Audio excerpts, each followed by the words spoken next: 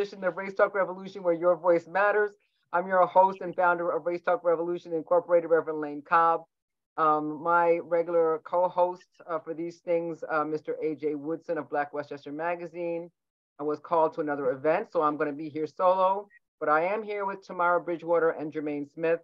Um, and today, as I said, we are partnering with um, Arts 10566. And uh, this program is made possible by the Rockefeller Brothers Fund Partnership. Um, our title for this evening's conversation is Off Broadway Performance, Place, and Ethnicity in Theater, TV, and Film. Our panelists this evening are award winning actors that you will no doubt uh, recognize and whom we are looking forward to hearing from for sure. Before we introduce our panel, I'd like to invite um, Tamara Bridgewater and Jermaine Smith to talk about their organizations and to say a little bit about why this discussion about race and the arts is important.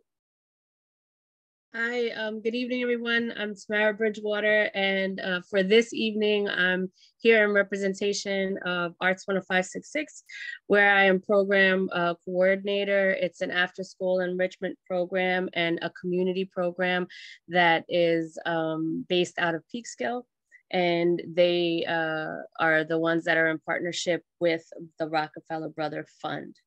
And so we want to welcome our panelists and uh, thank you for giving your time um, and your energy to this conversation. And Jermaine can talk about um, our partnership. Yeah, I want to thank everyone for being here. And again, thank Lane Cobb for having us in this wonderful podcast that she's been doing for a number of years now. Um, pleasure to have you as well as our panelists tonight. I'm really looking forward to the conversation. Um, NU Builds is an organization we started um, five years ago. It stands for Our Network and her whole purpose is um, youth engagement, youth development. Um, we do a lot of community engagement work, and uh, all of our all of our efforts lead towards some type of youth development and trying to really build uh, the youth and the community. Um, so this partnership with Brothers Fund up a Canada is, is what is allowing us to do this tonight. And we're really looking forward to getting this conversation going. So I will leave it at that. And hopefully we'll have a good audience and a, a fruitful conversation. Thank you all. Thank you, Jermaine. Thank you. So I'm going to go ahead and read um, uh, the bios for Keith Hamilton Cobb and Terrence Bernie Hines. Uh, thank you, gentlemen, for being here. We really do appreciate the work that you're doing. We know that you're busy. Thank you really, really, really from the bottom of my heart, our hearts for being here today. Keith Hamilton Cobb is not only my brilliant brother, but he is also an actor and a playwright who has been drawn mostly to the stage in his working life, but is also recognized for several unique character portrayals he has created for television. He has appeared in classical and contemporary roles on regional stages countrywide. He is a graduate of New York University's Tisch, School of the Arts with a BFA in acting. His award-winning play, American Moor, published by Methuen Drama, which explores the perspective of the African-American male through the metaphor of Shakespeare's Othello, ran off-Broadway at Cherry Lane Theater in the fall of 2019. It is a winner of an Elliot Norton Award, an Audelco Award, two IRNE Awards, and is part of the permanent collection of the Folger Shakespeare Library. Keith is the director of the Untitled Othello Project, currently in residence at Sacred Heart University and in collaboration with Blessed Unrest Theater, which operates as an extended touring interrogation and rehearsal with actors and educators of Shakespeare's play, exploring the human struggles with race, religion, and sexuality that it activates wherever it is performed. You can find out more about that production and Keith Hamilton Cobb at AmericanMoor.com untitledothello.com, and keithhamiltoncobb.com. Award-winning actor Terrence Bernie Hines has been cast and directed in films by Academy Award-winning directors James Mangold and Peter Farrelly. He has shared the stage and or screen with some of the great actors in history from Meryl Streep in Stuck on You to Alfred Molina in Identity, Harrison Ford in Crossing Over, Beau Bridges in Rushlights, and Ben Stiller, Shirley MacLaine, and Kristen Wiig, The Secret Life of Walter Mitty, and Matt Damon, Stuck on You, and the late Ed Asner, to name a few. He won the 2022 Rising Black Voices Award as co-director of the documentary film Hiplit at the Portland International Film Festival, along with his wife, Sonia Machado Hines. Terrence was born and raised in Detroit's notoriously tough West Side. At the age of 14, he was attacked by a neighborhood gang and wound up flatlining on the hospital table before suddenly recovering. Humor had a hand in his further recovery and has since remained an integral part of his life. As an adult, Terrence relocated to LA, where he was cast in a short film called Red Zone by a friend in acting class. Six months later, he wrote his, he won his first movie role. Since then, he has appeared in dozens of films and television projects alongside Oscar winners and nominees, as well as nearly 100 national and international commercials. You can find out more about Terrence Bernie Hines at imdb backslash Terrence Bernie Hines. And we will have our guests put their um, contact info into the chat a little bit later. Right now, I would like to welcome both of our speakers to the platform. Again, thank you so much we appreciate your time and your talent. And when um, Mr. Boatman arrives, I will read his bio uh, at that time. So each of you have been in the business for over two decades. Um, we are very interested to find out first, if you would, what brought you to the craft of acting? Uh, that would be our first question. The second tier to that question is, as Black males, how has race and ethnicity informed the work that you do? And third, what were some influences that supported your direction? I'll I'll speak first if you uh, if you want me to, and answer. By all means. First of all, uh, thank you for having me today. It's my honor to speak on these subjects. Um, I I've always been a fan of uh, you know I would I was a kid I was basically raised by TV. Uh, my mother died at, a, at an, when I was a young kid, and my father, uh, because he wanted to take good care of me, he he worked two jobs to um, to get me in the best schools that I could get into, and so I was raised by you know all the TV shows, you know all of the, you know, uh, the great acting, the great comedy, the great everything, and so I've I've kind of had this knack of wanting to have this effect on other people in a good way. Um, you you kind of mentioned that little incident that happened when I was uh, 15 when I got attacked by a gang. I grew up in a really really bad neighborhood. People who who know me now, they're pretty shocked that, that I actually survived that area um, for as long as I did.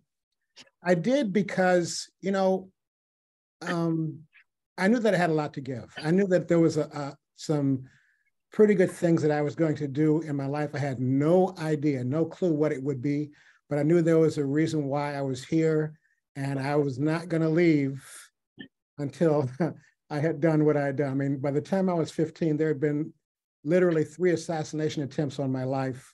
Um, one time I was uh, in the Boy Scouts, and I don't know if I'm getting too off the subject here, but this kid tried to throw me off a cliff. And um, I was like, wait a minute, what's going on? What are you doing? He was a white kid, and um, he just had two words for me. Actually, four words die, you fucking nigger. So I realized at that point that, um, nah, I, am not, if, if, I'm going, he's coming with me. So we kind of wrestled with each other a little bit. And uh, finally, he got up and just ran away. Um, and I knew at that point, no, I'm not ready to go. Um, so um, I continued to, I went to the University of Detroit. I, I did training in theater. I really loved it. Um, and eventually I found my way over to Hollywood.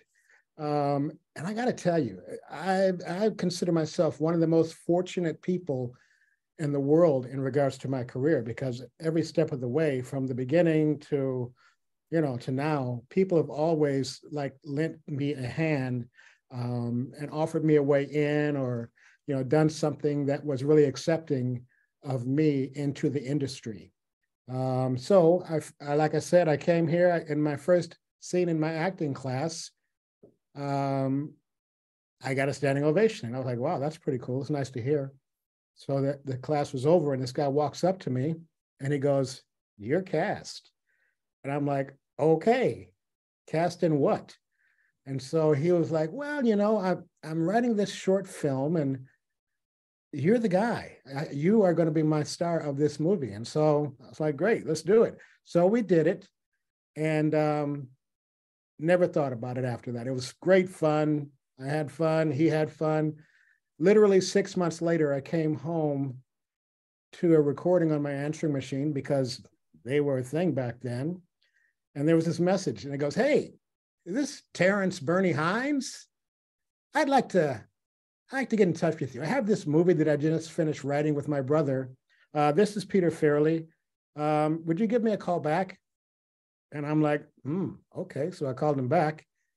Turns out he found my number. He just, he did, he actually got somebody to find out where I was, who I was.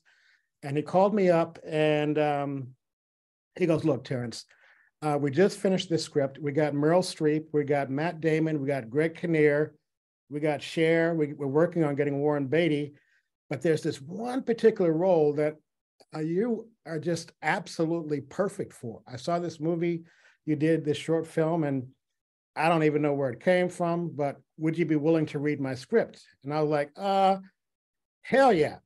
So uh, I read it, went to his um, office with his brother and their producers, and they wanted to give me the part, but they played a joke on me um, and said they were not going to give me the part until I did certain things uh, that was just part of their kind of you know sense of humor. I did them and I got the part. The next thing I knew, I was on uh, in Miami Beach for the next six weeks, working with all these A-list actors, and they took me under their wing.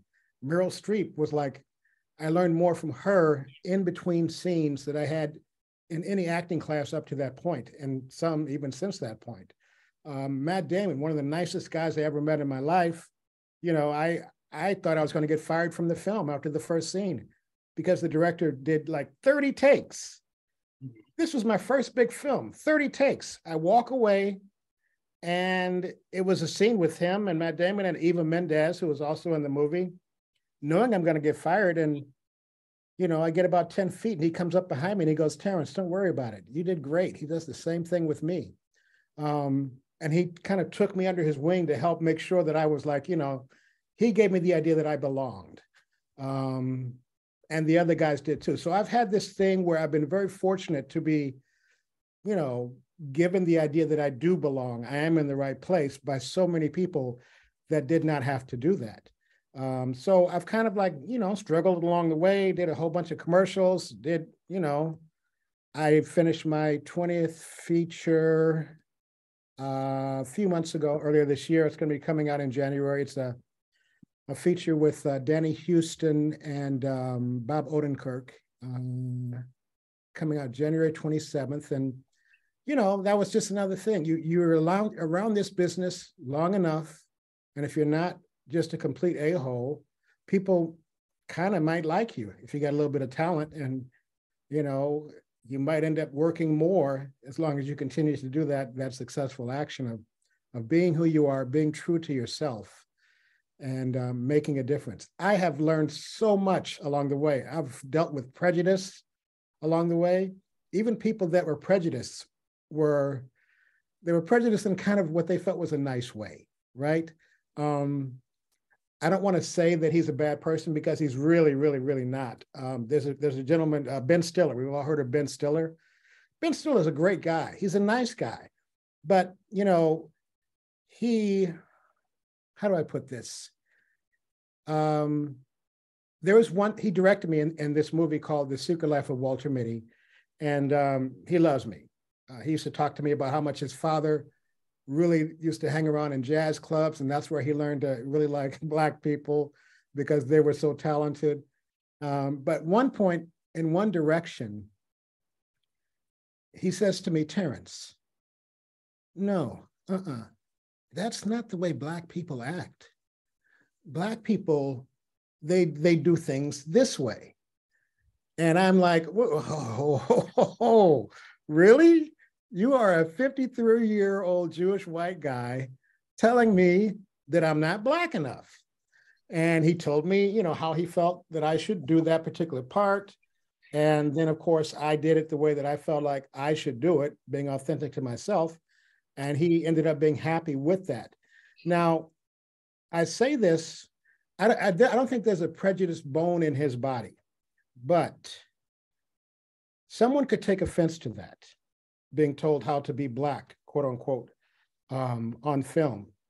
I think that he said that because as he was growing up and as he himself went through the film in, uh, industry as an actor, you know, and as a director, he was just really starting to get into directing at that time. Uh, he's seen that, you know, Black people act a certain way, like when he was a kid. Who knows what kind of movies he saw when he was a kid? He probably saw thugs. He probably saw, you know, people that were subjugated to being less than the uh, the black or the white person, um, and that was what was acceptable. That was the way that it is, and that kind of fit into the idea of the story of how a black person fits in.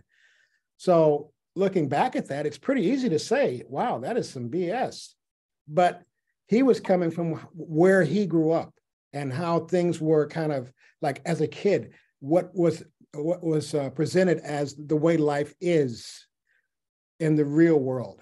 And so here we are, decades later, him as a director trying to make this great film, and he's directing me to be Black um, from his experience and how he envisioned the story to be. I think that we can make a difference in having more positive Black people or positive non white people shown in a positive way so that, you know, um, the future filmmakers, the future, you know, the, the future leaders of America or the world can look at a person and not have to think that they're a certain way by what color that they are based on what their experiences tell them. So um, I don't know if that kind of got off the, off the subject a little bit too much, but I, I kind of thought it was a little bit relevant to what we're trying to talk about today because race does matter. Representation really does matter um, to a whole generation of people. Uh, and it's even good to me, it goes beyond the people that are like overtly prejudiced. It's just like, you know, let's present people the way that they really are or the way that they could be. And that's starting to happen a lot more these days, well, which I'm very happy about. Yeah let, let me, yeah, what you're pointing to is all the, all the stuff that we want to get to.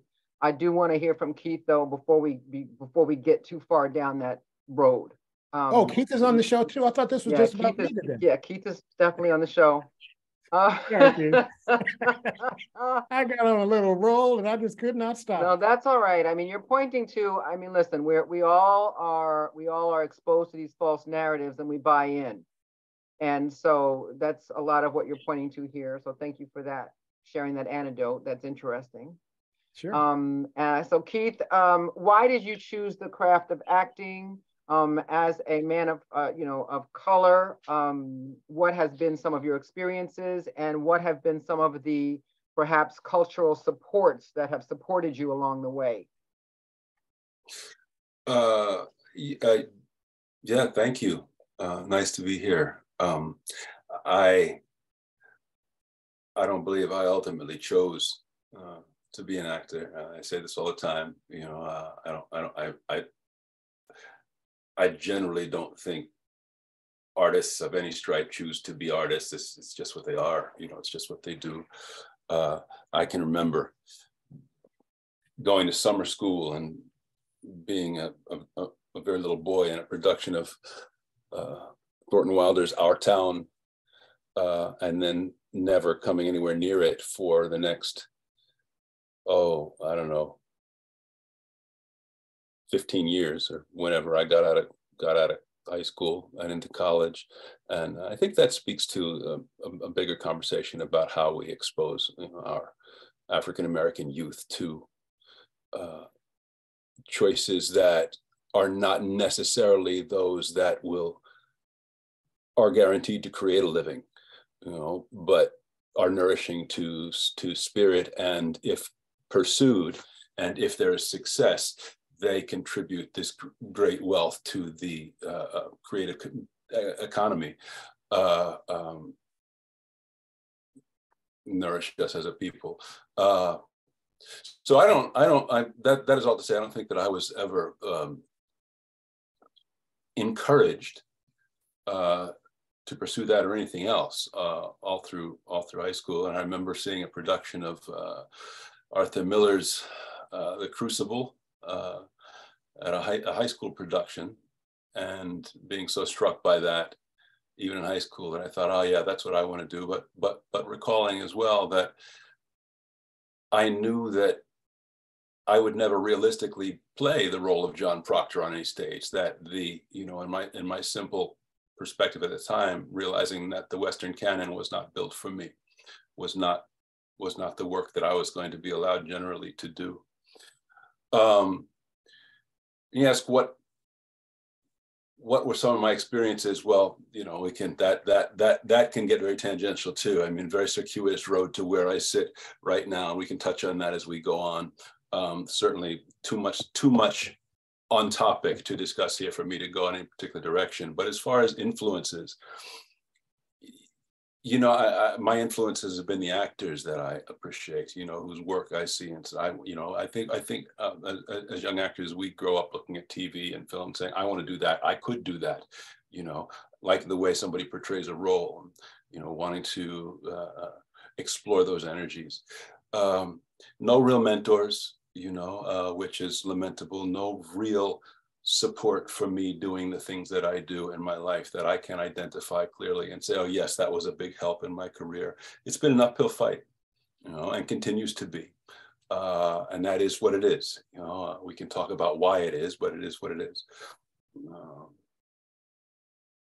that kind of cover all the all the all the questions. Yeah, sure. Thank you. Thank you. Thank you for being authentic with your experience. Um, and you've experienced a lot because you've um, been in a lot of different areas um, of the acting arts and as a writer, a playwright, an actor on television and on stage. Um, and um, I'm sure for Terrence as well, you've experienced a lot of different aspects of this um, industry um, what you were speaking of reminds me actually, it makes me think that Tamara, it's a good time to ask your question um, about the dynamics between acceptance and rebellion. Okay, great. Um, I love hearing the personal stories of how you guys uh, are, how you got involved in your career um, and how you were motivated to be part of it. Um, like uh, Keith, I agree that um, when you're a creative, it just kind of chooses you, not you know you know not you go out and seek it and sometimes even when you're on that path um, you know, looking for something, you may go elsewhere and find your purpose, right? So, like Bernie, uh, Terrence, the way you know you talked about your what happened to you, it kind of motivated you to move forward, make sure you did something, right?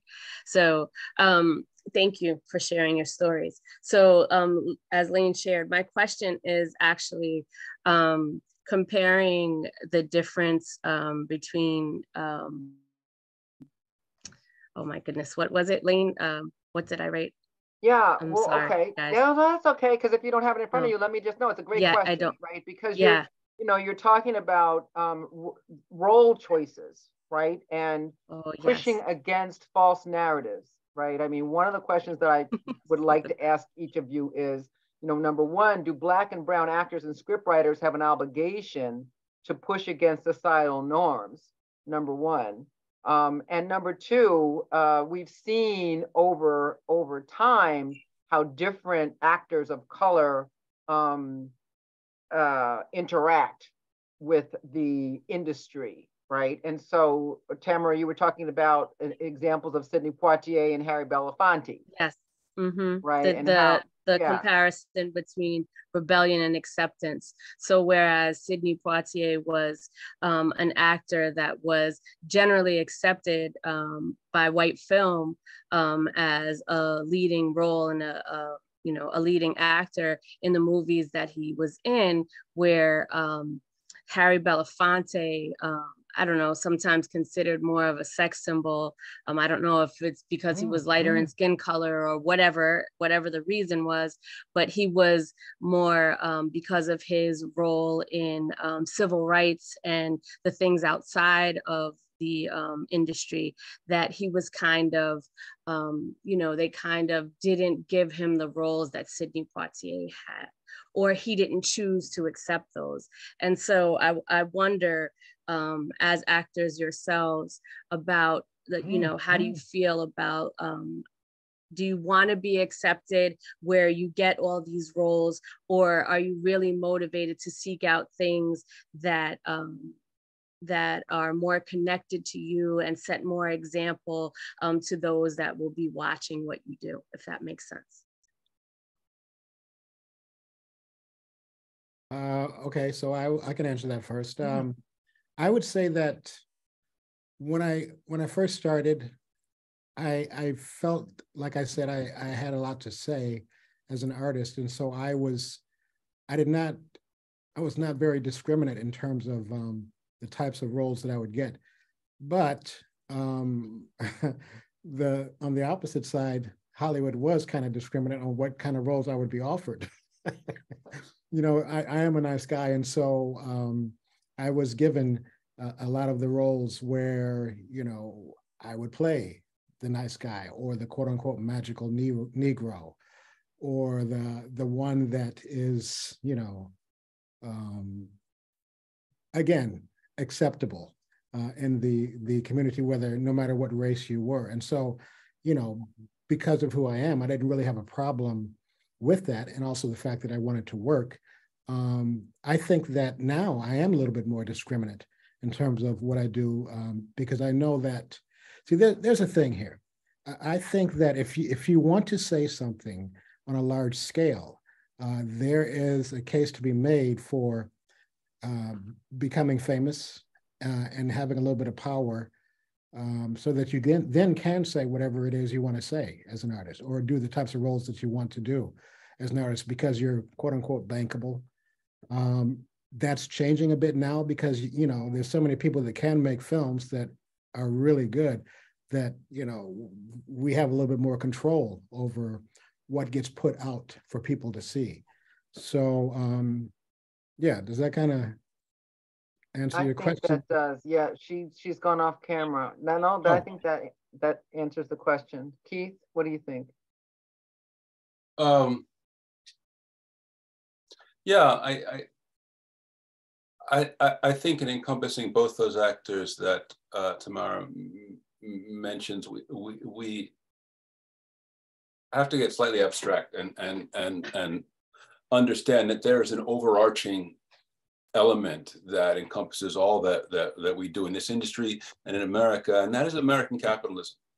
Right? I'm reading, I'm reading uh, uh, one of the, uh, the MLK biographies right now, and uh, his, his, his early machinations around uh, uh, social justice was about the nature of capitalism and how if you are beholden to this, this structure of making money, this hierarchical structure of, of power built on the backs of people who have less of it, you know, that you cannot uh, embody the Christian doctrines uh, of uh, Christianity has no has no social element in that way. If, if if Christianity is about taking care of one another, right and making sure everybody has their needs met you can't you cannot adhere to that and you can and and and, and capitalist ideals at the same time and when we look from that perspective we have these actors who are inside of that coming up early in the period where uh, uh, actors of color were, were given any entree whatsoever and ultimately at first i think as as as, as if I understood Terrence correctly, he would agree. They're doing what they have to do to have the job. They they are they are they are chosen. They step into this. It's not necessarily because they're the best people for for, for the role or the best actors, but they're the ones that by by by fate are they get the work so they adhere to the extent that they have to until there's a place and both Sidney and uh, and and and and Belafonte pushed back at some point uh, and and and and and and took on the role of activist to a certain extent. Uh, all that was going on for both of them was managed by a much larger moneyed white structure and, and, and, and, and, and continues to be. So, you know, I, I all, all, of the work that's happening in the industry now, even though there are more black faces, more black uh, entree, uh, more black agency, I don't think we can lose sight of the fact that it is still being controlled by a structure that says yes or no and can say no at any time, right? Can turn it off at, at, at, at any time. Yeah, so I I heard I heard you, um, Terrence, when you answered. I was uh, trying to bring Michael uh, Boatman on at the same time, but I was listening, um, and I appreciate both of you guys answering. So um, the fact that it can be changed at any time, and and there seems to be an over overarching control over the roles and the money. Um, how do you how do you propose we change that? And it's a very broad question, but how how do you think that as a culture and as a group we can change um, how that's happening? Well, my answers to that are rather pessimistic. I would I would defer to Terrence because he seems like a more optimistic cat in general. So, so. Uh, well, I do have an answer. Uh, Keith, and, and in fact, it it kind of um, touches a little bit on what you kind of got into on your last response. Um, I think that I am a bit more optimistic because people have more power today. Uh, people, uh, it's it doesn't you don't have to have a big blockbuster uh, budget to make a good movie today, uh, like you may have in in the past. You know, um, movies rarely movies are being made on iPhones, but they are being made on iPhone. You know, like there was um, a couple of uh, movies that actually got nominated for an Academy Award that were shot partially or fully on an iPhone. Um, they weren't big blockbuster hits, but they made an impact. Um, people do it every day. Some of them are going to be good. Some of them are going to be great. Some of them are not going to be so good. I think that, um, so from that point of view, um, that's taken a little bit of the power away from those people that that tend to say no. Uh, and that applies not just to Black people, it applies to all cultures and, you know, sexuality and genres, et cetera. Um, but in terms of the big picture, the big picture, you know, where they're putting a whole bunch of money in and they're saying this is what we want America and the world to see. Okay, that's that's a different story right there. And I think, and this has always been true, and it's especially true in the idea of capitalism. Success Success is is is the ruler.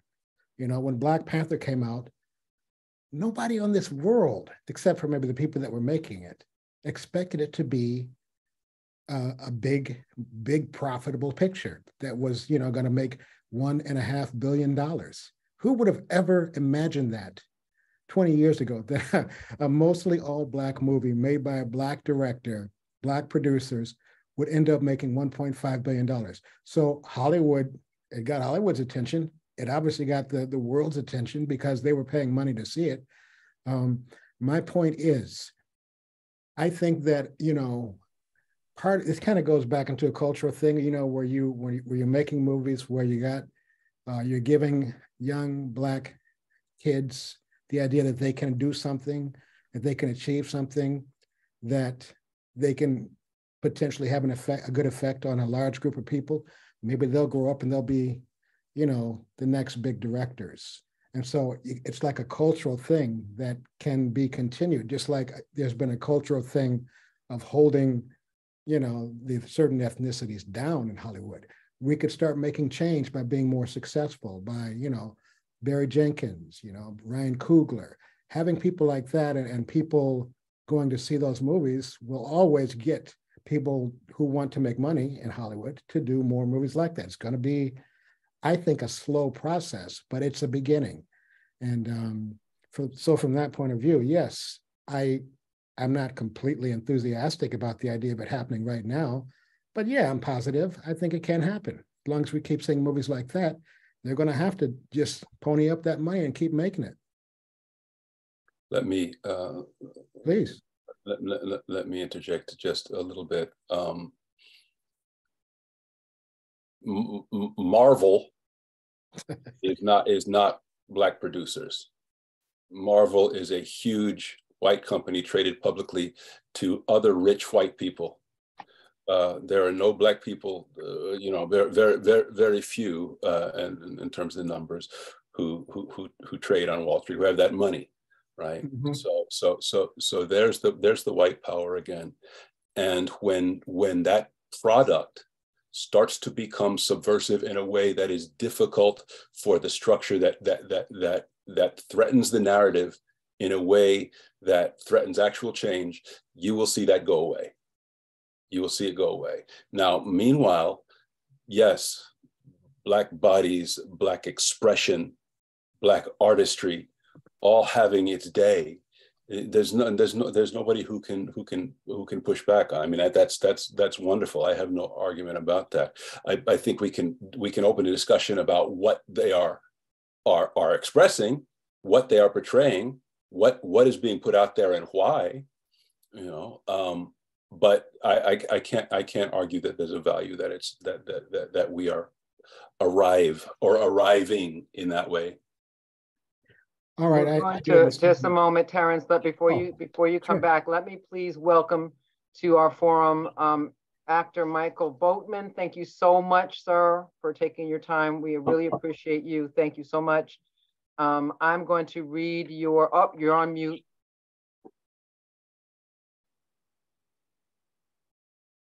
I am terrible with technology. Can, can everybody hear me? Yes, we can hear you. Thank you. Sorry, everybody, for please forgive my lateness. I wasn't able to find the link that needed. None of my kids are in my house now, so that's my. Uh, Everybody needs. That's where I am. I know it's you got to somebody has to start the, uh, a rent a kid business or something because right i can't i can't call anybody to say come in help, help me do this but that, uh, i made it so thanks i'm right. glad to be here hello to everyone welcome we greatly Thank appreciate you. you. I, I want to go ahead and read your bio. I know everybody knows who you are, but I'm going to do that anyway because you went to the trouble of sending it to me um, and for the purposes of the broadcast. And then um, you can either jump right into this conversation or uh, oh, yeah. we can we can backtrack a little bit so you can just talk about yourself for, for a moment. Um, okay. uh, Michael Patrick Boatman was born on October 25th, 1964 in Colorado Springs, Colorado. While growing up in the area of Chicago, Illinois, he developed an interest in acting that led him to enroll in Western Illinois University's theater program. After performing in a variety of plays that included A Midsummer Night's Dream, Purlie Victorious, and The Seagull, Boatman earned a Bachelor of Arts degree in 1986. Prior to graduation, Boatman showed great potential when he won the Best Supporting Actor Award for a performance in the Irene Ryan National Competition at the Kennedy Center in Washington, D.C. He then started his professional career by working for a casting agent, which eventually led him to the role of Motown in Hamburger Hill. From there, he moved to New York City to perform in a series of off Broadway productions. This in turn led to the role of Private Samuel Beckett in ABC's drama China Beach. Boatman spent the next several years on a variety of film and television projects prior to being cast alongside Michael J. Fox as Carter in ABC's Spin City. And I think that's where many, many people uh, really got their taste of you and, and fell in love with you. Uh, for his work on the show, he won a GLAAD Award for Best Supporting Actor in a Comedy Series and was also nominated for two NAACP Image Awards. For his work playing Stanley Babson on the long-running HBO series, series Arliss, he was nominated five times for the Image Award for Best Supporting Actor in a Comedy Series. He resides in New York with his wife Myrna and their four children, and you can look him up on IMDb backslash Michael Boatman. Again, thank you for letting me read that. Thank um, you for um, reading it. Wow. Indeed. Um, and who are, they, who are they talking about? Yeah, who he? it's it's funny when listening to somebody else read your bio, isn't it? It's interesting. Uh, it, it is a little awkward. Anyway. But go ahead. I'm sorry. No, it's fine. All right. Go right ahead. If I may jump in to what um, Keith, I believe, was saying um, just a moment ago, um, I I have the sort of peculiar perspective of being both cynical and optimistic about um, many things, but obviously particularly um, Hollywood and Broadway. And um, so much of, of my perspective, I think, has been fueled by sort of perceiving myself and sometimes being perceived by other people in the industry, maybe as something of an outsider. You know, I've I've been uh, I've been told by um, people on some shows I've worked on, oh, you know, if I was a guest star on, uh, you know, a black a, a black show, you know, I've I've literally been told, oh, what are you doing here? You're a real actor, which you know, for me would would just sort of sort of blow my mind about what acting is supposed to be, aren't we? You know, but it also sort of goes back to my own sort of experience of growing up on the South Side, speaking a certain way, being teased, and, and that schism between sort of those of us who value education and those of us who who haven't quite been so fortunate as you know and so so i've always sort of hovered in between those so many extremes as a black man as an artist as a as a, a lover of, of of art of all kinds. And my my cynicism and my um, optimism comes out of certainly obviously uh, not only long experience but also for instance with the with the black panther um, mention i i was and remain but i was a lifelong comic book collector. Um, and as a child in the 70s late 60s 70s when i grew up I, I, I imagined one day that i might see Thor and uh, the Hulk and all these people on the big screen. Silver Surfer happened to be a particular favorite.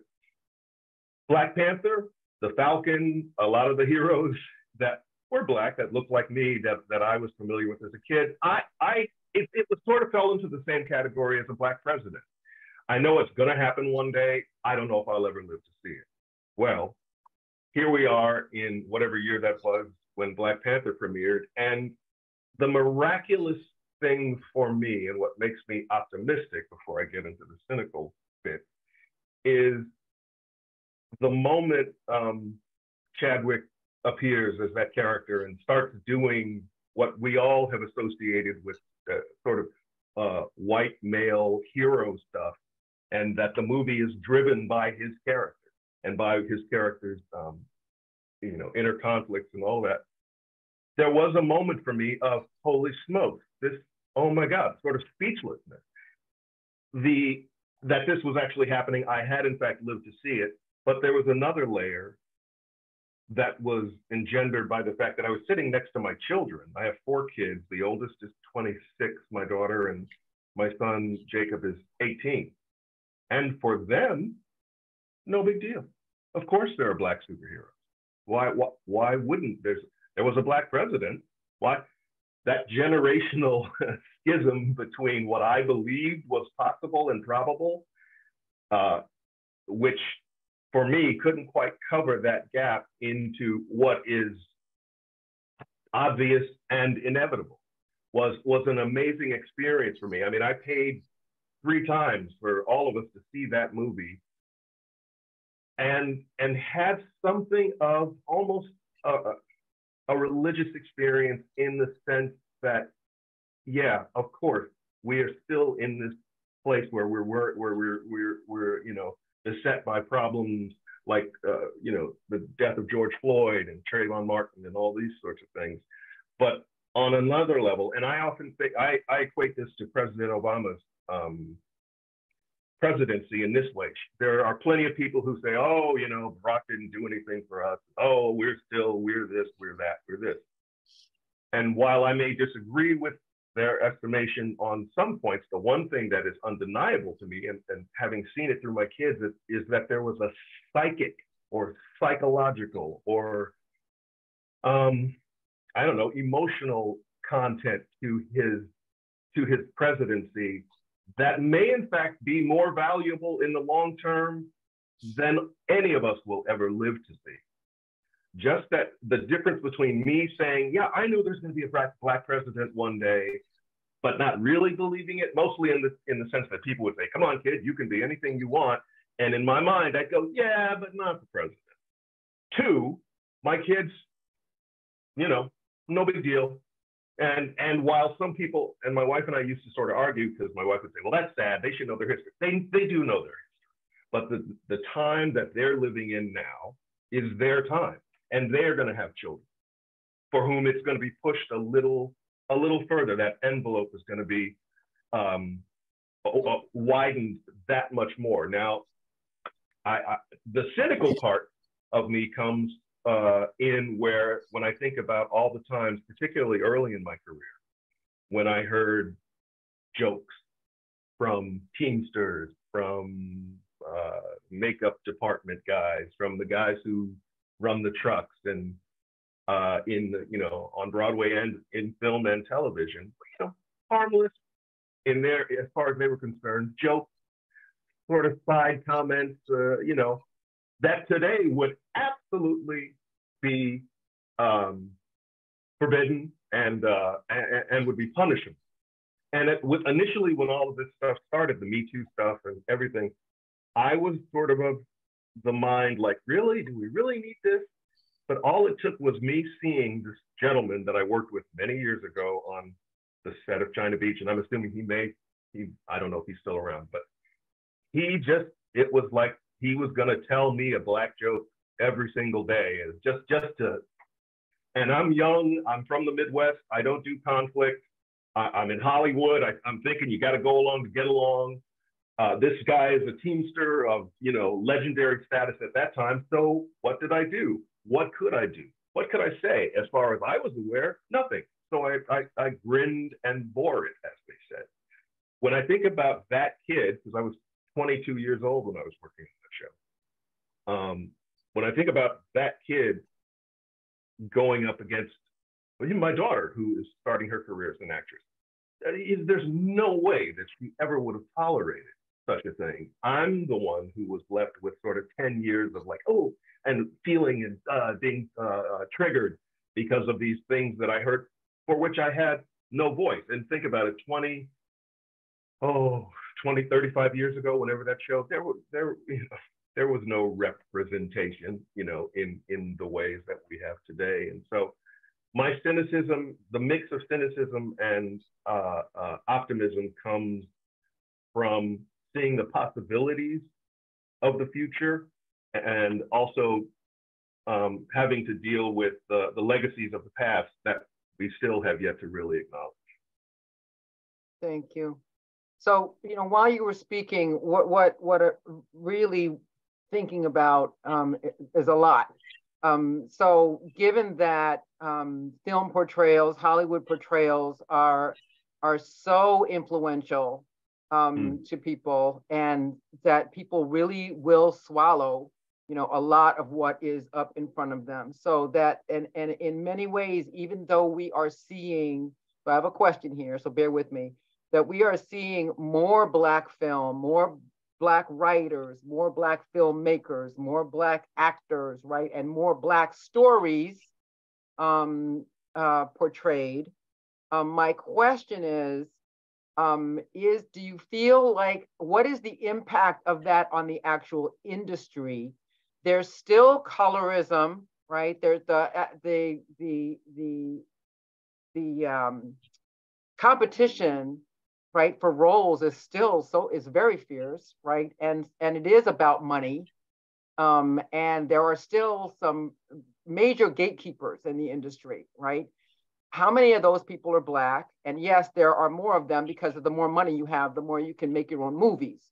But what is the difference being made? And is this going to, is this lasting? So, Michael, you said, yeah, because my kids definitely are having a different experience than I had, right? So, yes, mm-hmm. it's shifting. But are we really, are we moving forward? What do you think? Is the film industry, is, is the theater industry really changing as it, and is it changing for the better? And is it making a as big an impact as we wanted to make? for Black people and for people in general in terms of bringing people into reality and affinity with each other. Does that make I'd sense, like my question? Yeah, I'd like to speak on that if I could. Um, just, just to finish off, um, Keith, when I mentioned producers on uh, Black Panthers, um, I was not referring to the, the production company and distribution company. I was actually referring to Forest Whitaker and Ryan Coogler, who were the direct producers along with a few others on there, but I, I totally got your point. Um, in regards to what you, the question you were just asking, um, and, and also I appreciate the viewpoint and, and what you had to say, Keith, on this particular subject. And I love the fact that it was not exactly mine, so we can have a discussion about this. I think that anytime something important needed to be done, whether it was, you know, in a local community or in an industry, uh, it wasn't easy. It's never going to be easy. Uh, I am sure, I, I'm not personally involved or have personal knowledge of what it took to get Black Panther made, for example, that particular movie or other movies like that. But I know that there was a struggle. There was no, somebody was not like saying, "Hey, listen, Black people, do a movie. Yeah, be a hero. We want to change something here. We want to get some different viewpoints out there." No, no, that was not said by anybody.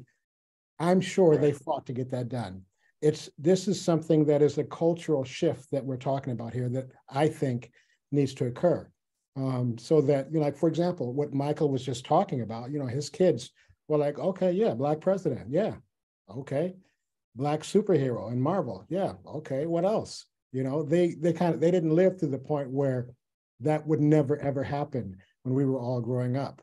But now they're in a they're in a society where it's a little bit more acceptable, but they fought for that. I think that the reason why I am po- leaning towards positive in terms of the question that you're asking is because, you know, people are fighting. People have always fought, but now they're starting to actually get little incremental gains, you know? And my thing is, if we can get more people that are interested in showing Black people uh, in a in a way that would be hopeful that they can get stuff done, then we could potentially, like I was saying earlier, have more people in the industry that will show more of that to inspire other Black people and other cultures or ethnicities to, to get the idea that, yes, I can do this. And then they'll end up making movies that will not show people in a, in a lesser light or in a lesser role or whatever. Um, I love the fact that that Michael was playing this uh, this Republican on uh, you know, the good wife and the good fight. You know, here's this black guy who's the only the main one of the main lawyers in this firm, and he is a black Republican. I just love that. It it kind of showed the other light, and um, it also showed him in a leadership role. I think that if we fight, things can change. I think that it may not be today, it may not be tomorrow, but it's going to happen as long as we continue to fight and push for things going in that direction. And that's just the way I feel. No, thank you. It ain't gonna be easy. I'm not saying that. It never has. It, it never has been. It never has been. It's just interesting watching what that uh, what is happening on, on Broadway as well um, with all the Black theater that is being made. It's really exciting and it's an exciting time. And my experience says there's a backlash to everything. So I'm, you know, Keith, what do you think? What's your opinion on that? On which part of that? Well, any part of it. I know I said a well, lot. I think, I, th- I think, I think yes, success, what, what, what, what, what Terrence ended with, that you know, if we fight, it will change. And that's true as long as it feeds the bottom line. As long as this, the, the you know, uh, at the end of the day, Hollywood is a community of business people uh, they they are doing business. And whatever the quote unquote art it can be good art it can be bad art but if it makes money you that's going to fly until it threatens uh, uh, uh in, an unimpeachable status quo. The status quo may be shifting you know a little bit but this is this is still the the the age and the and and and and, and the world of white money and power uh, and you see that in, on, on, on Broadway as well. And I say that because people want to look at all of this stuff that showed up in the, in the wake of George Floyd and COVID, you know, the new Broadway, Black Voices. And, you know, I've seen most of it, uh, uh, not all of it, and I find none of it threatening of whiteness. Uh, and there's a reason for that. There's a reason why these white people rallied these businessmen said, we have to get a hold of this and put this out there and say we're on board, but we don't want anything that's going to upset upset the apple cart. So there is there there is no threatening black theater. You know, it is it is looking at black people uh, be funny in their homosexuality, be funny in their domestic lives. You know, there was a show. One of the first ones to come was was was called Chicken and Biscuits. You might as well have called your show Comfort Food, right? Which was was, was did simple comedy reminiscent of the 1970s television. You know, um, and of course, the industry said, "Here, here, see, we we we love black people. We love black voices. There's something behind that, right? And it's and and and and, and I don't see it as us making progress. I see it as us being, uh, uh, you know, for the people who are in it, that's their shot. The people who are in it, this is their this is their their entree to to the money, right? This is a place where they can come become part of this machine. They're not going to say no right? They're not going to say, "Hey, I, I, got this. I got this serious socio-political piece that's very indicting of, you know, American corporate structure." They're not going to. They're not going to lead with that. Um, so, I guess I'm. I'm. I'm. I'm. I'm. I'm, the voice tonight of uh, yes, but you know, uh, I just I just want people to stay aware. I I see the changes too. I see I see the growth. Things are evolving. Things have to evolve you know the uh, the the the what what what what is it the the the arm of the moral universe bends towards justice is that it arc of the moral universe bends towards justice i suppose that's true well, but it's very slow and uh, i think in any discussion like this that we engage we have to be uh,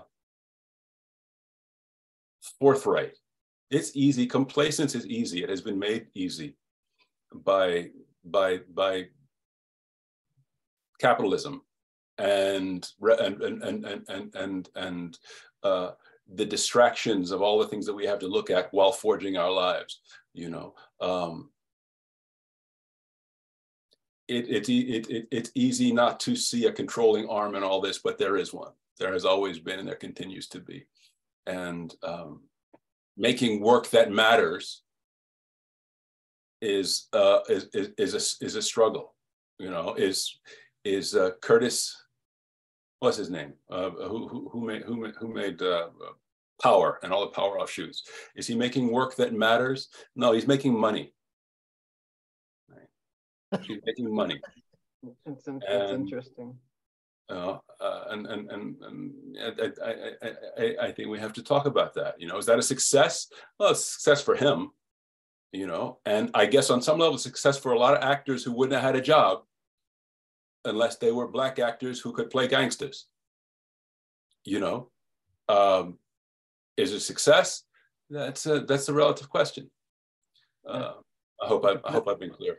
It depends. It does depend on depend on your perspective. I want to get Michael to weigh in on that, and then I want to come back, Keith, yeah. and have you talk a little bit about untitled federal because you're pu pushing a, back against that a little bit, and then I'm going to have um, yeah, Michael, what do you think? Yeah, um, can everybody hear me? Did I do this yes. correctly? Yeah. yeah um, I think uh, where I think we fall um, short of sort of being being efficient in regard to moving these issues forward is um, I think believing that there's only room for a few perspectives. We have to have forthright conversations. We have to have yes, but as Keith said, and we have to have, you know, um, the rosemary, the rose-colored glasses, um, because we are battling, encountering um, a, a panoply of perspectives on the other side. Our, I, I used to, I was just thinking today, strangely enough, about I heard something on the radio where they were talking about the Black community. Now, we've all grown up hearing that term. Um, my my parentage is all from the South, and you know, and I'm sure there are people here whose folks are the West Indies or Africa, or and so as I think about it, I always think, well, what Black community? Uh, my Black community is the South Side of Chicago of 1975 or so to 1982 when I left to go to college. And within that community, there were within my family, there were numerous perspectives.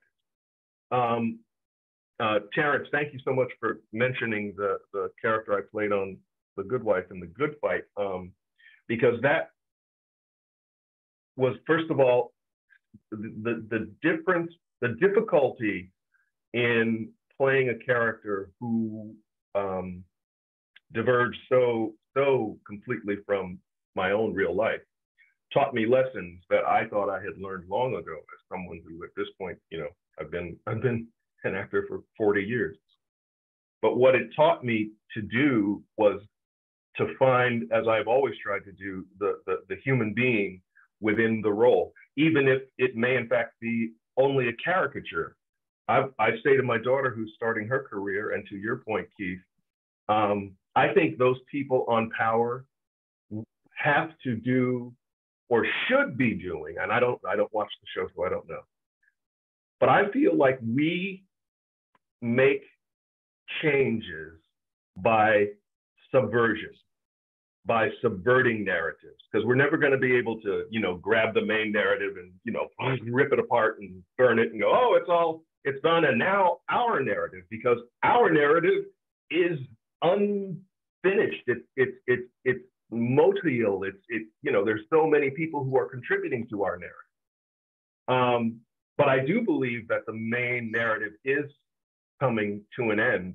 I, I, I think many people sense a, there is a sense of something ending, something falling apart. I think to Terrence's earlier point about capitalism, yeah, capitalism is about making money, and uh, the money has figured out that oh, hey, black or gay. I'm sorry, I keep doing that. I hate that um, dumb quotation thing. Black or gay or LGBTQ. It, okay or or whatever the the the the, the, the cause du jour is uh, is bringing them in at the box office. So yeah, we're all for it. I, I think that's not where we're going to find um, a sort of relief. Uh, I, in in the sense of you know the the positivity of images that we're looking for. And Keith, you mentioned uh, sitcoms from the 70s. Uh, to, to this day, um, there are episodes of um, Good Times, The Jeffersons, you know, um, of course, All in the Family, but I'm specifically citing Black shows now. John Amos and um, Sherman Hemsley are two of the greatest Black father images ever in television history. Now, people have asked me about that opinion. They'll, they'll say, but Sherman Hemsley, he was so Think about it. Think about what we saw with George Jefferson that we never see today in any character, any black male character. A man who was verbal, vocal about his dislike of white people, a man who challenged every man who had a different perspective, whoever came into his apartment, to a physical fight. He, you know, in, in his comedic way, but you knew that that man, that character, loved his family, loved his wife, respected the, the, the world that he and, and Louise Jefferson had created. We don't see that character on TV today. So in the, the idea that there's something progressive about something that's so ancient now is kind of amazing, but I'd love to see more of it. And I think that, and when you go and you, you read or interview, um, I've read interviews about Sherman Hemsley. I've read interviews from John Amos as well. Neither one of them wanted to play those characters as written their particular force um, as men, as African Americans, uh, was enough to sort of steer the courses of those shows. Now, in the Jeffersons, obviously, it lasted multiple seasons, and you can say, you know, whether or not you think it was as great as it was when it started. But in the case of, of Good Times, everyone has said, even Norman Lear has said it was a mistake to kill off the James Evans character, and that in some sense, he might have felt like he did more harm than good for, uh, you know, I took it to mean for the Black community. I remember the trauma of people going, they're killing James? They're killing James? Oh, what? What does that mean? Why would they do that? And then subsequently, the show becoming the JJ show, basically. So I, I again, for me, it's all got to be possible, but I think the, where it really finally lies is, and that's what I think uh, the greatest contribution that artists can make. It's art that will save us. Um, I don't know when, uh, but it's art that gives us subversive ideas and tells us, oh, you know, uh, you know, uh, uh, uh, what do you, what do you think it means to be black? Well, I'll get that from a hundred or or a thousand different people. You know what I mean? It's so I, I, I and I hate to sound sort of waffling, but I, I think our our diaspora requires um, airing all of our multiple perspectives honorably and um, and loudly at this point because uh, where I see uh, a really big change, and it's only because of my limited perspective and my age and everything else, uh, my privilege, if you want to say that. I don't know what the younger, my, my daughter's generation say. They are incredibly politically astute. They, they've got all of this under, under their thumbs. I get yelled at when, when my kids were all home. I get yelled at every day about I said the wrong thing. I called the wrong group the wrong name. I said the LGBT backward, whatever it was. And initially I'd go, well, you, you know, you damn kids, what are you? And it, and ultimately when I would calm down and sort of get out of my ego, I'd go, hmm, you know what? They're right. They're right. So I think the world that we may not be able to quite see yet because it's still maybe too far in the distance and we may not know what that world is going to is going to look like. I don't think ever, any generation ever does um, know what the next has in store for it. And with regard to the power people uh, again I, I, think about um, our great our great heroes our uh, you know our sojourner truths and our you know our, the underground railroad i mean you got to sneak it in there somehow. And that's where I think the role for subversion. I, the reason I brought it up, um, Terrence, is because you had mentioned that character I played on The Good Fight. And what was so terrifying about it was I've always tried to make every character I play, whether I, you know, I played, I played serial killers, you know, I played, you know, people that are different from me. Um, but my point, my my role as an actor has always been to make that character a human being, make that character recognizable, um, so that someone out there says, "Oh, I know that guy." Hmm. Well, if that guy feels like that, well, maybe okay. Well, let me listen to him. I don't know. I'm presuming that that happens, but it's you know I've heard it enough, Keith. I'm sure you have too. I've heard it enough where someone has said, "Oh, that role you played. Oh my God, I you know it definitely got me thinking." Now, as you as, as Keith said earlier, yeah, it, it I, I, I, we do this because it's work, because we love it, because we get a paycheck and all of that stuff. Uh, I just hope that as time goes on, we can find more moments um, as artists to subvert that narrative, because that narrative is always going to be, even if it's only as a ghost sort of fluttering around all our ears, you know, well, in time to come. It's some element of that nature is going to be here until it's gone but we still got to keep moving forward. Well, that, and that, that's that, not to, and that's not to diminish that that that um that element at all. It's, we still got to keep get up and keep it moving. Thank you, thank you, Michael. Well, that actually that's a good segue for me to, to ask Keith about the work that he's doing with Untitled Othello because you're you are um, what what you say is invites actors and producers to see plays through an anti-racist lens. So how do you look at a script or a role through an anti-racist lens? Um, and I've heard you talk about making that black characters more human to people. You know, tell tell us a little bit about the work that you're doing. I have to try real hard to encapsulate this because it needs some backstory. So let me see if I can be yeah. brief. Uh, if we start with American Moor, it harkens back to uh, Terrence's experience with uh, with Ben Stiller. Uh, American Moor is basically a play about a man uh, auditioning for the role of Othello and being told by a much younger white director how to be the black hero. And uh, within the course of a, a, a, a, five minute audition, he has an hour and a half inner monologue. and, and, and that is the play. And, and the play was ran off Broadway and there were post performance discussions and uh, the, one of the questions I always got asked was, well, what about Othello? Let's talk about Othello. Are you going to direct Othello? Are you going to act Othello? And I said, well, first of all, no, uh, we don't have the tools to do that well here because we, we, we can't get past our privilege and we can't get past a three to five week rehearsal process. We cannot interrogate this play deeply enough to put it on stage in a way that's anything but a recycling of what's been done before. But the bigger issue is the only reason you want to talk about my Othello right now is because this play is about you and you don't like the spotlight being on you. So you're trying to change the subject. That said, I knew the question would keep coming. So uh, over the first lockdown, I sat down and thought, let me go through through Shakespeare's play and see if I can create a version of it that I think is plausible. Because a big problem with Othello is that it is not plausible. What he has offered us is not truthful or honest and the characters are shells they're not really people they're archetypes that might have been fine for his early modern audience uh, uh, they accepting uh, of, of, of, the early modern theatrical conventions but it's not it's it, it, it, it really won't work for us unless you just want to buy that it's Shakespeare and that's how black people behave.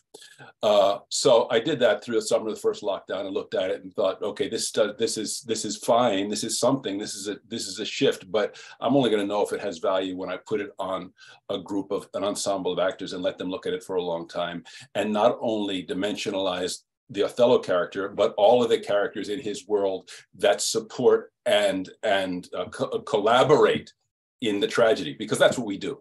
Uh, uh, uh, Michael was was mentioning that we, you know, we we we are trying to get audiences to recognize themselves in our work. So as actors, we have to deepen, like especially with Shakespeare, who's giving us these archetypes. He's not giving us people right? We have to, for a contemporary audience, you have to dimensionalize those characters. That work takes time. It will not fit into the American theatrical industrial complex capitalist model of you get three weeks and you put that shit on stage and we make money, you get your fee and everybody goes home, right? That's not going to give us anything, anything new at least. So I was going to colleges saying, work with us, platform us for two weeks. I will bring, bring an ensemble of 13 actors. We will work with your students across disciplines. That's the, you know, theater, English, uh, psychology, philosophy, Catholic studies, anybody who you want to bring to the table to interrogate this play with us and bring their contemporary perspective. Remember, we're actors. I'm, I'm a 60 year old actor. I'm going to do the thing that I was trained to do, which is three weeks put on a face and put it out there. I'm going to miss a lot. I need you to tell me what I'm missing. Right. I need you to tell me what's here in this 21st century that I'm not seeing. Right. Let's let's all let's all talk. And through that process, we as a group can figure out who this who this play is about. Now, this process for the actors requires that they get paid well, right? Requires they get housed, that they get fed, care and feeding of human beings, right? Not not not what Hollywood will hand us or or the theater industry will hand us, which is they'll make do with that. Equity allows us to pay you, you know, this much money. It's not much, but deal with it or some other actor will take this job. Hollywood does the same thing, right? Numbers are higher, but it does the same thing. Right? We are about trying to create equity and human centricity in the work, um, bringing voices uh, from across racial spectrums, sexual spectrums, gender spectrums, age spectrums, uh, uh, and, and, and, giving them the same platform to figure out what this play is about. Right? And hopefully, at the end of that process, as we go from university, right now we're in a, a, residency which should last three years, so we're sort of set up. But the idea was to go from university to university, each giving us two weeks, and at the end of two years, looking at this thing that we made and said, okay, do we put this on stage? Do we throw it away? Either way, we got paid the experiment was done. We've reached a lot of people. We've exploded a lot of minds, right? A lot of scholarship written on it. You know, we can be done. We can go do another play. If I may, I'm going to interrupt you just because we are very short on time. I'm sorry. I know we haven't had any audience uh, engagement, but we, our folks have had a lot to say. Well, you said you're blowing a lot of minds. How are you blowing minds? Like in two minutes, like what's what's the what is the what is the analysis revealing? student in English class sat watched us one day spend an hour around this table talking about um, uh, the term good wench, which Iago uses in the play and, and uh, to, to, to, to, his wife. We're doing this sort of cutting and editing of the play. And I say, I'm not sure this is relevant. And several people in the group push back, say, no, this, this needs to stay because it speaks to this aspect of misogyny in, in, in the world. And I said, well, it's elsewhere. We're trying to streamline this play. And we went on for about an hour and a half. And that, and that student whose work had been prescribed through high school, through college, about, about everything, right? And including Shakespeare, right? Was like, how do you get to do that? Is there a place where we get to talk for this amount of time about something like that, that one line, right? Which could change everything. And I said, yeah, it's a place like here we can come together and we can talk until it's talked out we can we don't have to put everything in this this this soundbite frame which which which the industry is is is pushing right we can talk we can get together we can support each other we can hear you know. I can i can i can do the introspection that will allow me an availability to see where my shortcomings are. What am i not hearing? You know push harder.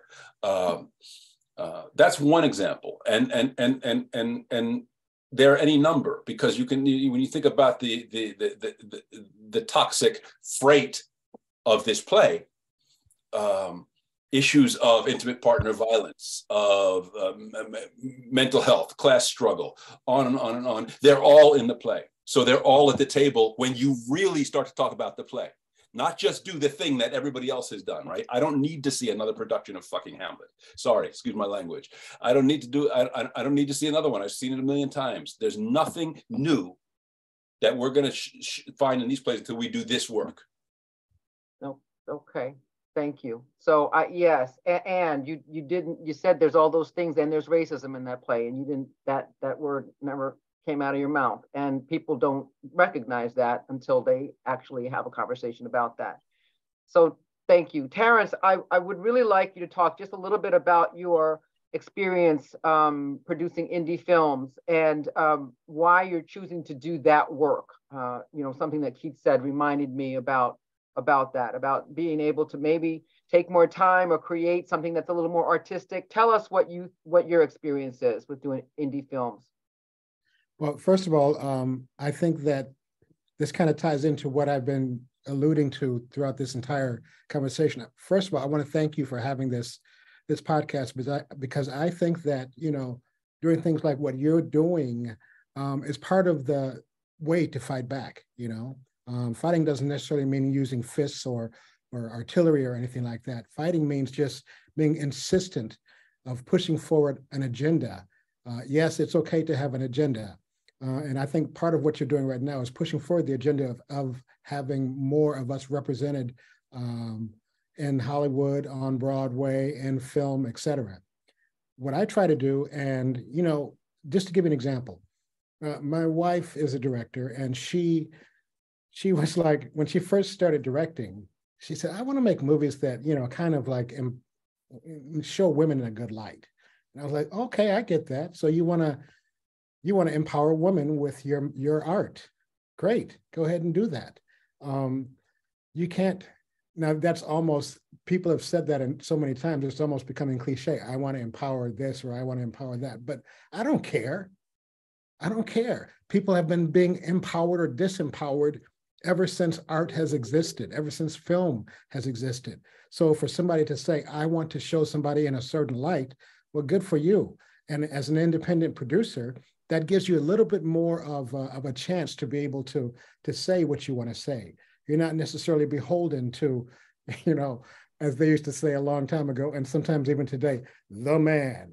You know, you are the man. You're your own man or your own woman. Um, being an independent producer allows you to, if you can get the money together and you got your you got a script that can be pretty good, and you got a camera and you got a crew that you can get together, you can make that. That's what Spike Lee did. Spike Lee. Spike Lee, speaking of somebody that does not, you know, go along with what other people say, he decided to, to he was one of the first black directors to put out a film, you know, that basically put racism front and center um, in New York. And oh, by the way, it did end up it did end up having to make money. Um, that did wonders for the entire industry, in my opinion. Pissed a lot of people off, but that's part of what, what, what it takes to make things happen. You go and piss somebody off when you get stuff done because people don't like change, especially in this industry. So being an independent producer, I, I decided to take it on as my responsibility to do the types of movies that come from my sensibility, you know, where we we do take a look at like I I just finished this script that I wrote about growing up in Detroit and what it was like. And you know, the, the stuff that I had to go through. And, you know, it's it was real for me. And I said what I had to say. And I always knew that I was going to be talking about this when I was a kid. I even used to talk to my brother and say, I would have him tell me stories about because we were in that part of town, you know, things that would happen, like, you know, people would get killed and, you know, there was a lot of drug deals going on and bad stuff would happen. And I thought that was just fascinating because that, I felt like I was in a whole nother world, but I wasn't. I was in Detroit. Uh, so I knew that I could make a difference when I grew up by writing about that, you know, and people can take that as as as they would. I learned from him, believe it or not, because he was really into drugs. He got hooked on heroin when he was 15 years old. I had no clue. I just knew he was messed up as his younger brother. I took that as an idea. Okay, good. That's something that I don't want to do. And so I figured that he helped me out in a kind of a roundabout way just by, you know, falling prey to his environment. And um, he was a good guy. I mean, don't get me wrong, he's a great guy. Um, I, I, I love him. And, but I think that with my life, I can, I can make a difference for others and for future others just by putting things out the way they are, the way I want to do it, because I'm an independent producer. And if it happens to make money, oh, that's even better. yeah. That's just how I look at it. Thank you. Yeah. and um, I I watched Hiplet today. That was that was totally cool. Um, so oh. I want I want to invite uh, I'm going to invite you guys to put any links into the chat before we go. But Michael, I wanted to talk to you a little bit. People mostly know you from your acting, um, but uh, you're also a writer, a screenwriter, and you write horror. Is that right? What had you do that? That's got to be kind of cool. I can't hear you now. Can what what happened to your sound? And you're not muted. I hate when that happens. Check your the computer sound and see if it's muted. Oh shoot. Nope. All right. So work on that because we want to hear what you had to say. no, you might have to go out and come back in. I don't want you to do that, but you might have to. Sometimes your computer is actually on mute. Uh, Try to mute it. Try to mute it and unmute it again, Michael. Yeah, he he did that once.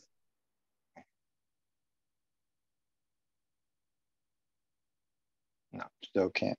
No, we can't. We can't hear you. I'm gonna move on, but just keep working on it. Okay. Go Keep down talking, to the, go down to the left and see where it says mute and hit one of those arrows and then start hitting buttons and see which one of those works out. So I I am um, just curious, guys. I, I I we've got five minutes left, um, and we appreciate your time. Um, we we ask the same question uh, with each of these broadcasts. Um, race and ethnicity can be a burden, but and also an opportunity. Does that statement resonate with you? Why or why not? Real quick, what do you think? And Michael, you just keep trying to unmute, so just keep trying to talk. Terrence or Keith, what do you think? Race and ethnicity, a burden, an opportunity, both? What do you think? It's definitely both. Um, it's definitely both. It, it always has been, and I think it always will be. I mean, depending. Look, I don't. In case you guys haven't noticed by now, I am an optimist, uh, despite everything that goes on, because I think that opportunities come um, all the time. Many people are not open to opportunities. Many people are too stuck in, um, you know, past failures or current failures to really believe that it's a real opportunity. Uh, many people, it's just like over their head. But I think if if I try to be open uh, to possibilities. Now, that being said, I'm also a realist because you know I know about the BS that does happen, um, and especially in this industry, and I can recognize it when it does happen. I've experienced all kinds of stuff that I'm not even bothering to bring up because. Um, hello. Just, oh, hello. there you go. Speaking of opportunity, Okay. Sorry, Terrence. Go ahead, Yeah. Terrence. Finish finish that thought. It's all good. We'll go back to Michael. I just, I just think that, you know, like, for example, um, the idea of being typecast, right? When I, when I was becoming an actor, it's like, oh my God, you do not want to be typecast. That's one of the worst things in the world to be typecast as that Negro or that thug or that whatever. And it wasn't just for Black people. I mean, there's such typecast can be a thing for any ethnicity, any, you know, any gender, whatever. Um, I happened to do a class when I first got started getting into acting where I was taught, you know what, being typecast is actually not necessarily a bad thing. You know, from the point of view of just working, you know, you want to be in that top five list of that casting director or that director where they know, you know, if they got a certain type of role and a certain type of character, let's call this guy Mhm. because we know he can do it. And that's for me, that was just like an opportunity to get working and get to the point where I can say and start saying no to certain roles so that I can say yes to the role that I do want. That was just for me an example. That's an example of a burden and you know an opportunity. They Yeah. exist in life. So I think that's just the way it is. It depends on how you look at it and how you want to go about moving forward in your life and your career. Thank you. Yeah. Yeah. I love that. And that's you that's good advice universally. So Michael, we got you back. Yay. All right. So Yes. So what's, up writing. with, what's up with the horror? What's up with the horror? Um, you know what? As a kid on the south side of Chicago, I think I was always fascinated by now they call it dark fiction or speculative dark fiction. Or I was I'm a voracious reader of all kinds of um, genres, but um, science fiction, horror, those sorts of things just always, you know, tickled some perverse element of me. Um, I, I've written tons of short stories and a couple of novels that have been uh, published in different places, but I never, I can encapsulate what, what galvanizes me to write by one meeting I had at a table, uh, at a book signing for uh, my first collection, which is called God Laughs When You Die. It was a collection of short stories that have been published in other places and other magazines. Um, a woman who was also a writer that was on this panel afterwards, after we'd spoken to everybody, said to me, I read one of your stories, the one about the mermaid. Now, um, in at, to, to Terrence's earlier point, my mermaid was an African mermaid because that exists in our diaspora and our mythology as well. Well, what does that mean in the context of the American South of the 1960s? Where did this mermaid come from? What does she eat? How, all of that sort of thing. Now, that's what I thought this woman wanted to talk to me about. She was a writer of what at the time they were calling, uh, what is it, go, go on girl type, like street stuff, but the guy is always like out of just out of jail, but he's also went, he's also gone to medical school and he's, you know, built and buffed. And I don't know what that genre is called, but it was really popular. So this woman says to me, um, "Oh, you write about well werewolves and aliens stuff." And I said, "Oh, yeah, sometimes." And she said, "Well, I don't really get that." And I said, "Why?" She said, "Aliens, werewolves, that stuff doesn't happen to black people." And uh, I remember just in that moment thinking, "But wait, this stuff doesn't happen to anybody. Why are we excluded from our own imagination based on race?" And and it was always that. Yes, of course, the images we saw growing up, the Twilight Zones, the Star Trek, there were, you know, there were certainly characters of color, not a lot. But when you saw them, you identified with them. And so I never got over that identification that the miraculous, the the you know, the ineffable can happen and does happen. I mean, I grew up in a tradition, half of my my mother's family are all from New Orleans. So forget about it. It's and one of my aunts was supposedly, uh, you know, a, a, person who practiced those arts. I don't want to, I don't want to say those things out loud, but um, so I grew up with a great deal of sort of um, superstition, both in terms of our family's sort of history of Christianity and Southern Baptists, but also knowing that there were darker forces and understanding that that some people are on the side of light versus the side of dark. You know, some people say good and evil, however you want to say it.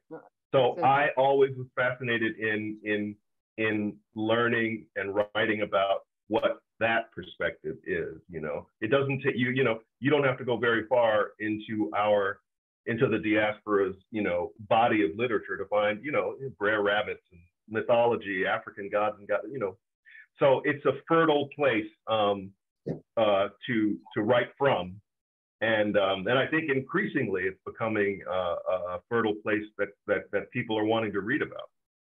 Yeah. How much, well, how, it, how, You know.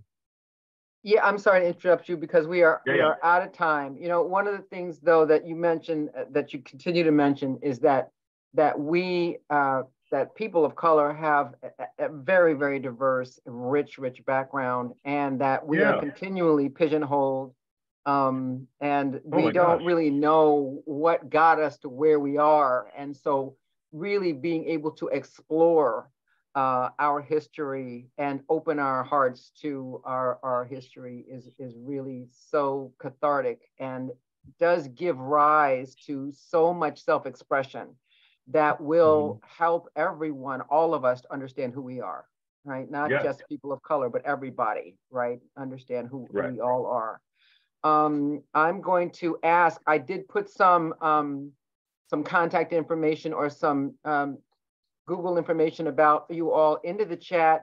If you have um, projects or anything that you'd like people to um, follow you, please put that into the chat as well. Um, I want to thank our speakers, Michael Boatman, Terrence Bernie Hines, and Keith Hamilton Cobb for being with us today. Um, please check out these guys. Please also go to Untitled Othello because you can see some of the work that Keith has done on these college campuses. Um, it, it, it, has been archived and it is fascinating uh, to see people picking through um, this information and the epiphanies that happen when you take the time to actually look at something in a way that you've not done that before. What does it mean to be a, a black person? What does it mean to be a woman? What does it mean to be so all of from from from every different perspective. This is very important work. I wish we had more time for this conversation. I we really do appreciate you all lending your time and your talent.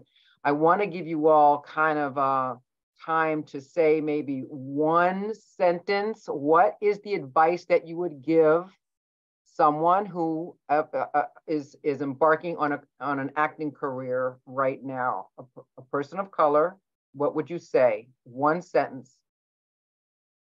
If you if you can't think of anything else that you just as soon do, then you must do this, and then there's nothing to do but do. Thank you. Brilliant. And I I would dovetail and jump on Keith. Um, uh oh, hello, you still there? Yes. Yes. Yeah, I would jump. I would jump on Keith's um, um, um, advice and say, and find a way to make yourself the best at it that you can. Educate yourself. If it's not in a college or a university, uh, private lessons or lessons at you know, if you, if you're in New York, Chicago, L.A., there's tons of acting schools. But Thank you, Michael. Educate yourself. Yeah, and I would I would jump on that and agree with what the other guys have just said and also add to it that you know um, people do have success in this business. Obviously, success is something that can be defined differently by different people. But in terms of your success, people do have it. Uh, look for it. Somebody's going to do it. Why not you? Why Thank not? You. Brilliant. Thank you all for being here this evening. We greatly appreciate you. Um, uh, please join us on January 13th for our third panel discussion on race, ethnicity, and the arts. Our topic will be the human condition, appropriation of expression in art, music, and dance. Our panelists will be educator activist Rizwan Idara, educator Jillian McCray, and teaching artist activist Cornell Lord Judah Kerlark. We are grateful to the Rockefeller Brothers Foundation for their partnership in this effort. And if you're interested in learning more about Arts 10566, please visit their website at arts10566.org. And I'm going to invite last words from Tamara Bridgewater and Jermaine Smith. Go ahead, Jermaine. I just want to say thank you to everyone for joining us tonight. Um, amazing conversation, major dialogue, which is which was definitely needed. And as Lane mentioned, we could probably go on for hours in this conversation. So much more that we can talk about and, and dive into. I had a couple questions that I wanted to get in, but the conversation was so well done that I, I couldn't sneak them in. But I appreciate all of the panelists for being here. Mm-hmm. Um, such talents. I appreciate Lane for being here and our audience for being here to participate. Um, if you guys want any information from NU, you can send us an email at info at, at hello at nubuilds.com. That's E-N-U builds.com. And if, if, you have any questions or any information needed from us, um, but definitely join the next podcast. And we look forward to seeing you all there. Have an amazing evening. Thank you, everybody. Thank you. Thank you, guys. Thank you very much. Thank you, everybody. Bye-bye. Good night. Good night. God bless. Bye-bye.